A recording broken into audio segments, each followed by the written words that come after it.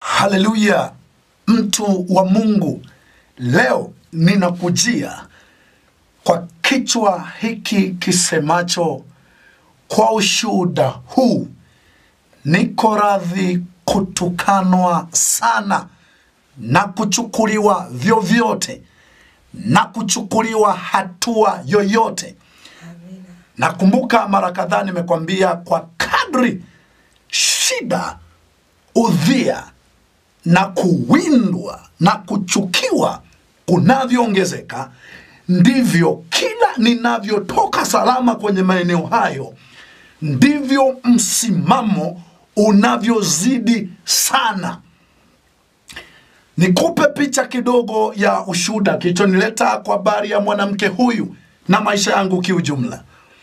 Bila shaka physical appearance, kokote uliko unakoniona, unaona mimi ni kijana, ni mtu ambaye ilikuwa ni wemo katika namna nyingi za kukimbizana na maisha na kutafuta utajiri na heshima za ulimwengu huu, lakini bila shaka umekuwa ukiona mara kadhaa nikikaza sana maneno yanayoonekana kana kwamba hayatengenezi mazingira ya ukwasi na heshima za dunia hii.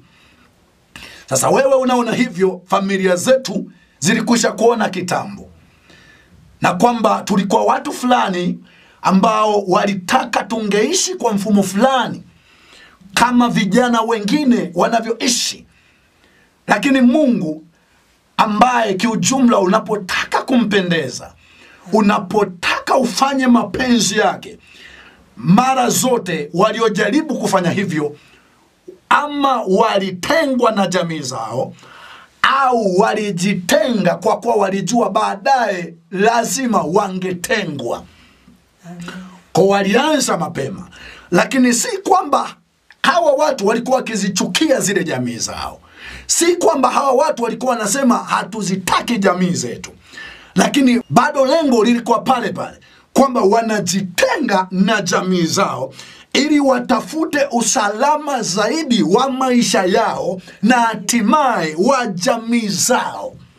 Amen. Sasa lile tendo mara nyingi lilionekana kama ni kujitenga na na jamii zilinuka juu na kusema ndugu yetu napotea na sisi hatuko tayari upotee, kana kwamba zinamhurumia yule mtu bila kuangalia kwamba katika jamii husika huyu mtu pengine alikuwa na mateso mengi na maumivu mengi, lakini kwa kuwa yanakuwa ni maumivu na mateso ambayo watu wengi wanayapitia, kwa inaonekana ni kawaida mtu akitafuta njia yoyote ya kujinasua kwenye shida zile iliyo tofauti na mfumo wa dunia ilionekana ni kupotea, na watu wamechukua hatua nyingi zikiwemo kuwatusi, kuwapiga na hata kuwaua ndugu zao. Mimi nayesimama mbele yako ni mtu ambaye tumepitia kadhia hizo kwa namna mbalimbali, jamii zetu, familia zetu. Sema wewe huko ni kupotea. Inawezekanaje ukawepo kanisani siku zote uka, ukawa ni mtu tu wa kushughulika, pesa yoyote unayoipata basi ni ya, ni ya kuhubiria Injili, ni ya kutafutia ku, ku, ku, ku, kuendea tu kanisani inawezekanaje jamii zetu zilikuja juu zimechukua hatua za kila namna zimetusi matusi ya kila namna lakini ashukuriwe mungu kwamba mtu yeyote ambaye alikuja kuleta msaada katika jamii husika au kwa maisha yake basi alikuwa radhi na matusi ya aina hiyo Amen. sasa mwanamke huyu nayemleta mbele yako siku ya leo ni kwamba alichukua maamuzi makubwa sana baada ya kusoma kitabu cha Bila Maombi Mengi na baada ya kusikiliza DVD kazi yangu ikiisha. Anatoka kilomita sabini kutoka kanisa lilipo, yaani Chimala hadi Mbeya. Anakuja kila wiki na kwenda kuendelea na shughuli zake. Kuna ushuhuda ambao nilimtaja mwanamke fulani bila kuonyesha picha yake, lakini kwa sehemu leo nataka tu nikwambie yule ambaye nilimtaja bila kuonyesha picha yake ni huyu mwanamke huyu. Pamoja na kusali siku nyingi, kule kusali kwa kawaida, kwa kuchukuliana na jamii inavyotaka, alibaki na namna nyingi mbaya, aliishi na namna nyingi mbaya ambazo watoto wake, jamii yake na familia yake, ndugu zake kile kilikuwa ni kitu cha kawaida, yani kutoa pesa kwenda kumhudumia kwenye hospitali mbalimbali, magonjwa ya moyo, miguu hawezi kukunja, mwili mzima na kohoa usiku kucha, kumhudumia hospitalini lile halikuwa tatizo. Kutoa hela na kumwacha lale siku nyingi hospitali hawakuona tatizo, isipokuwa alipothubutu tu, alipothubutu tu kuwepo kanisani kwa muda mrefu, hapo vikao vya kila aina kutoka kwenye dini za zamani, kutoka kwenye familia yake, majirani zake, ndugu zake, wote walinuka kwa, kwa, kwa, kwa namna nyingi za kusema vibaya. Nimekwisha kuambia, wala hata sio ajabu, kwa sababu kujaribu kuyaponya maisha kibiblia, lazima ukubali kuyaangamiza. Unapotaka kuponya maisha yako, mwili wako, moyo wako kwenye maisha haya au baada ya maisha haya, shariti ukubali kuyaangamiza, yani udharauliwe na aina yoyote ya mtu, hata we ni mtoto uliyemzaa mwenyewe, mama yako aliyekuzaa mwenyewe, jirani yako, hata kijana tu mchafu mchafu, mpiga debe wa barabarani. Ukitaka kuyaokoa maisha yako, shariti ukubali kuyapoteza. Amen. Ni wachache wawezao kupokea neno hilo, ni wachache wawezao kuchuku, kuchukua neno hili na kulifanya kabisa kwamba vyovyote itakavyokuwa, acha mimi niyapoteze maisha.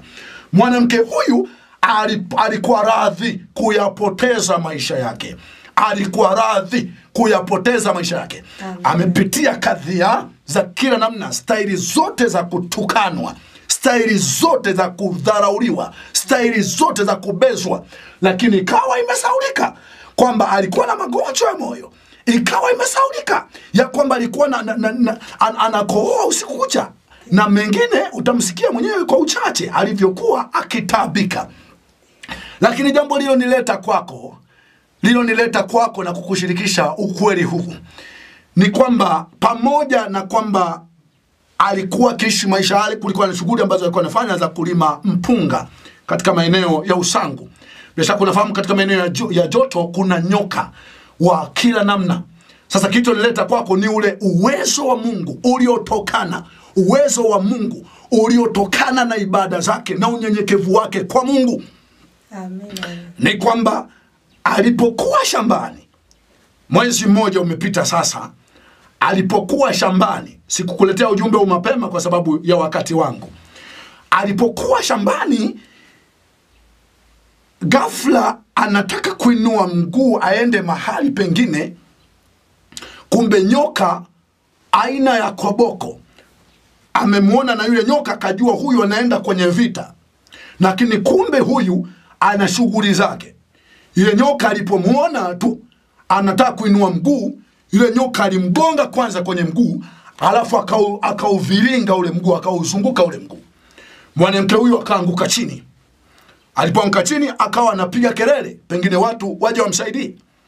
Watu walipokuja wakamwona yule nyoka, na nyoka kaona kainua kichwa namna hii, kaona wale watu wanakuja, yule nyoka kajitoa kwenye mwili wa mwanamke huyu na kuanza kuwafuata wale watu. Huyu mwanamke akainuka pale na wakaja kujaribu kutaka kumkata ule mguu, kukata mali nyoka alipong'ata. Baadaye akasema tu hapana, wakaufunga ule mguu, kaufunga ule mguu, lakini ni baada ya muda, baada ya muda tayari hivyo anahisi sumu imeshafika mdomoni mpaka mate yameshakuwa machungu, kwa sababu alikuwa kijijini na shambani mali, mpaka kuita watu waje kutoa msaada, tayari ile sumu ikawa imeenea mwili mzima. Wakajaribu kukamua pale, lakini tayari hiyo sumu imeshaenda mbali. Wote walipomtazama wakajua huyu ni dakika yoyote anapoteza maisha. Kama si kupoteza maisha, mguu wake utaoza ama utakatwa. Amen. Ghafla wakaanza kutafuta msaada wa namna yote, wapate bodaboda au pikipiki kutoka mjini, walau iwafikishe barabarani. Wakapiga simu kwa kila namna, piga simu, bodaboda anasema anakuja. Baada ya muda wanapiga simu, anakuwa ameenda kwingine. Wanapiga simu, anasema anakuja. Baada ya muda anakwenda kwingine, toka saa mbili asubuhi. Nataka nikwambie, tumepoteza vingi kwa ajili ya ibada, tumepoteza vingi kwa ajili ya imani, lakini tulipoteza ili tupate maisha bora kuliko namna nyingine yoyote ya maisha. saa mbili saa tatu saa nne saa tano saa sita saa saba hamna huduma yoyote hamna huduma yoyote. Nyoka mng'ata na kila mtu anaona jeraha la nyoka na anaona mwili kabisa umebadilika. Sumu imeenea mwili mzima. Kitu kimoja nachotaka kuhakikishia na kuthibitishia yakatimia maandiko yasemayo mtakunywa kitu cha kufisha hakitawadhuru. Wadhuru kuna kuwa na uwezekano sumu ikaenea mwili mzima lakini isiwe na uwezo wa kutoa uhai wa mtu. Amen. ni kwamba akajaribu wakajaribu kwa njia kwa kila namna baadaye bodaboda akaja mwendo wa saa mwendo wa saa kumi. mwendo wa saa kumi. Toka saa mbili nyoka amemng'ata mwendo wa saa kumi. Kila mtu aliyoona alichojua kwamba mwanamke huyu kesho tunaenda msibani.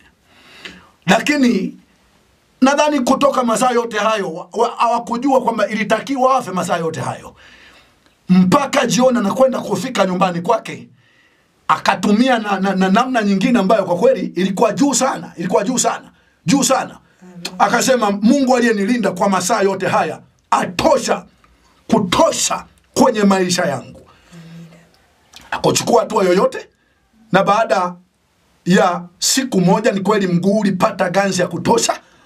Siku moja kesho yake akawa ana uwezo wa kutembea. Hakutumia dawa yote kwa sababu tayari dawa ilikuwa too late dawa yoyote. Sasa nataka kuongea kwamba je tungezisikiliza familia zetu na kukaa kwenye yale maisha yaliyokuwa yanatengeneza mazingira ya kuumwa kila siku kuumwa kila siku na wao wanaona ni kawaida. Je hapo wakati huu wa nyoka zile familia zingekuja kutu, kutu, kutusema kwamba kweli ku- ku- kutusaidia kule mahali tulikokuwa shambani? Mijibu najua hamna. Mungu ambaye tuko radhi kupoteza maisha yetu na kudharaulika na kutukanwa kwa namna yoyote ni mungu ambaye anasimama nasi siku ya majonzi yetu. Biblia inasema, inasema ajifanyiaye rafiki wengi anajifanyia kwa ajili ya maangamivu yake mwenyewe. Bali yuko rafiki mmoja anayeambatana anayeambatana na mtu kuliko ndugu. Amen. popote ulipo nataka nikuandae kuitetea kuisimamia imani shariti utengwe shariti udharauliwe shariti upuzwe. Amen. hakitatokea kitu chema. Kama wewe mwenyewe hautakuwa tayari kuyapoteza maisha yako. Amen. sio rahisi. Huyu wanamsema kwa sababu ya utu uzima wake. Kwamba kwenye utu uzima huko unaangaika tu kwenda kupanda magari kwenda kufuata imani mbea mimi nasemwa kwa sababu ya ujana wangu kwamba kwenye ujana huo ulitakiwa upigane na maisha haya utafute magari na vitu kadha wa kadha usaidie. Wakati ambapo bado katika mazingira haya si kana kwamba hatusaidii jamii zetu. Tumeondoa tu swala la kusaidiwa. Lakini sisi tunaendelea na wazo la kujua sisi tuna wajibu wa kuzisaidia. Tu kwamba hatutazisaidia vile zinavyotaka. Tutazisaidia kwa namna tunavyoweza lakini mwisho wa yote ikitokea kwamba sasa uh, mkifa itakuwaje? Mimi nadhani tukifa tunatazama tu swala la tunamalizaje mwendo duniani kwa sababu hata kama itazika site. Lakini kwa hapa kwa, kwa binti huyu mwanamke huyu nataka nikuhakikishie kabisa nikuhakikishie kabisa kabisa kabisa kabisa kwamba vyovyote vile hii ni familia sasa vyovyote vile kwa heshima ama kwa aibu kristo ataadhimishwa. Kwamba amekufa basi familia ijue tu ijue tu kwamba umwe afe. Ni mtoto wa mungu na familia ya mungu ndiyo ambayo itaangalia mustakabali wake wote. Isiwe tu vitisho vitisho vya kwamba maisha ya mtu yako chini yake. Hata alivyokuwa naumwa aliyekuwa anapata shida sana ni yeye. Anaumwa moyo anakooa kutwa nzima. Nampa nafasi dakika chache. Aliyekuwa anaumia ni yeye anaumia yeye mwingine ni pole tu. Sasa baadaye hata jukumu la kuyaokoa maisha yako usifanye mjadala na mumeo na mmeo usifanye mjadala na mkeo usifanye mjadala na dada zako na mama zako. Unayeumia ni wewe unayeweza kuyaokoa maisha yako ni wewe. Usiangalie watasemaje rudi kwenye Biblia. kila aliyeokoa nafsi yake aliiponza kwa ndugu zake kwa siku za mwanzo. Yusufu anakuja kuaminiwa mpaka ndugu zake wanaenda kupona kupitia yeye. Walimuuza walimnena vibaya kwamba ni bwana wa ndoto anajifanya yuko tofauti anajifanya wa kiroho. Naomba nikusii popote unaponisikia ukitaka mungu aokoe maisha yako na kuokoa maisha ya jamii yako kubali maisha yako yadharirike na udharauliwe na utukanwe hata uwindwe kwa namna yoyote na ndugu zako tena wa karibu. Biblia imesema adui wa mtu ni wa nyumbani mwake. Lakini hiyo kitu ayu ya muda mrefu baadaye hiyo jamii yako itarudi tu watakuja kujua kabisa kwamba ilipaswa uyapoteze maisha yako. Ilipasa ufanye kama umeitenga jamii yako. Ni kama uioni jamii yako kwamba ni autambui thamani na msaada ambao walikusaidia pale mwanzo. Lakini baadaye usipozimia moyo mbingu lazima zitakuadhimisha kama vile ulivyoliadhimisha jina la yesu. Zitakuadhimisha. Hazitakuacha uaibike kwa mauti yako ama kwa uhai wako. Kristo ataadhimishwa. Kwa ufupi ulikuwaje kabla? Ulikuwaje kabla Kabla nilikuwa naumwa, moyo ulitanuka, ndio mapafu hospitalini walisema yametoboka toboka, ndio maana nakohoa. Okay. Walisema hakuna dawa, tutakuwa tunakupa dawa tu za mm. kutuliza maumivu, Mm. lakini kupona hakupo. okay. Alafu sehemu hii nilipataga ajali, ubavu wa mwisho ulipasuka kidogo, likireki ukupa ubavu wa mwisho. Mm. na ulikuwa unanisumbua, nilikuwa nashindwa, nilikuwa nalalia. Miaka yote nalalia ubavu mmoja. Miaka yote. Eh, na mguu nilipataga ajali hapa, lichuma liliingia hapa, lichuma. Walinishona pale hospitalini Chimala. chimara Sasa kukunja hivi ulikuwa nilikuwa nashindwa, ulikuwa ukunjiki, ndio lakini nilipokuja hapa Mm. uliponiambia tu we ombaga, mwamini Mungu tapona yeah. Kweli nimeendelea kuja hapa, ingawaje mara ya kwanza nilikwazika kusema niombei aniwekei mkono Mm. nikawa nimekwazika kama na amani Mm. alivyokwazika alipoenda kwa Elisha Mm. na mimi ilikuwa hivyo hivyo Mm. lakini nilipofika nyumbani Mm. nikaona he, ngoja nijaribu mashariti alioni nani alioniambia ndio ndio nimefuata hayo mashariti kuomba kuja kila wakati ibadani. Mm. ila sikumbuke hata siku niliyopona wala mm. saa niliyopona nikakutaga tu he usiku nalala usingizi. Mm, mm, kukohoa kumepungua. Mm. maana nilikuwa nakohoa nikianza madaka matano hata kumi bado nimesimama na kohoa Mm, mm, kwa hiyo nikaona vyote hivi vimeisha Mm. moyo nimeona nalala vizuri Mm, mm. yani mapafu yani tuseme yani mwili umekuwa ni mzuri kabisa kabisa nalala na nafanya kazi nikienda shambani hata nashika jembe ambapo nilikuwa nikiokotea majani pale Mm. vikuwa kama vya ndani vinatoka vyote Mm. sasa hivi naokota tu majani wala sioni dalili yoyote ile ya kwanza ya kusema sijui vitu vinanisumbua ndani Mm, mm. naokota tu nashika jembe mm. juzi nimepiga pampu hata sita saba hivi Mm. lakini sikuchoka kuhema hema sikuhema Mm. ambapo niliacha hata kupiga dawa ya pampu nilikuwa naomba watu mm. sasa hivi napiga mwenyewe Mm. Nimepona namshukuru mungu nimepona. Na, na, na tukio la nyoka lilikuwaje? Tukio la nyoka kwa sababu haya yote nimeeleza kwa uchache. Eh. nimeeleza kama mtu kwa kweli hata atajua kwa sababu hatupigi kampeni hatupigi kampeni kanisa wala upako. Aa, upako haukuombewa. Ulielekezwa ukafuata mwenyewe na pamoja na hivyo sio upako tu wa siku moja kuna matusi mengi ambayo umezidi kutukanwa Ndiyo. na jamii kwa ujumla. Ndiyo. kwa sababu ya maamuzi yako mwenyewe ya kutaka kuponya maisha yako mwenyewe. Atupigi hatupigii kampeni kanisa. Tuna tunajaribu tu kuujulisha ulimwengu kwa mungu ukimtegemea. Mungu uki, uki, uki, ukimuishia ukawa radhi tu kwamba kwa hali yoyote mimi na yesu milele. Na yeye hakuache tukio la nyoka lilikuwaje nyoka nilikuwa nimeng'oa mbegu sasa nikaangalia kuna kashamba pale ng'ambo narudi natembea kwenye tute. Mimi sikumuona nyoka. Kumbe yeye ameniona. Natembea nikaona tu papa cha kwenye mguu.